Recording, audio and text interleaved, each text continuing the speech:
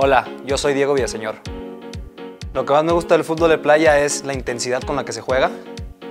En mi posición, la participación que tiene el portero es mucha durante el juego. Llegué en enero del 2017. Chama, Maldonado son de los dos más que más hacen bromas en el vestidor. Mi playa mexicana favorita es Tulum, Quintana Roo, Villa, que viene siendo por mi apellido. Mi comida del mar favorita es el cóctel de camarón.